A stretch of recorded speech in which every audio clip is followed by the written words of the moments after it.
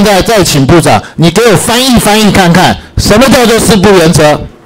这跟不接受媒体采访、不谈及政治，他至少违反两样了。当时的状况是说有很多人在场，他不是单独的接受媒体的采访。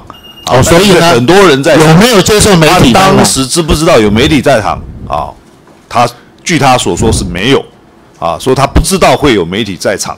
我的了解是这样了。你的了解你觉得正确吗？有媒体在场这件事情，只要参个不是媒体的就不算媒体访问。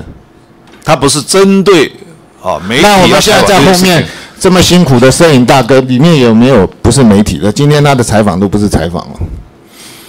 那我们在外面接受采访的时候，旁边有警察站着，诸位警站着，这也不是媒体采访哦。哪有这样子的？主要的那不是你们这些法务部全部都是全部都是法律人，居然大家可以睁眼说瞎话，没有这回事，瞎掰到这个程度。他只是在一个座谈会或是大家一起共同的场合里面啊，那媒体知道他在说了什么，而做了一个呃报道。他那这个我们很他为什么可以现在还可以在座谈会？他不是保外就医吗？不然我跟你讲。中间的上级叫做矫正署，矫正署的上级叫做法务部，法务部当然要为中间的任何离谱的认定，要出来矫正一下。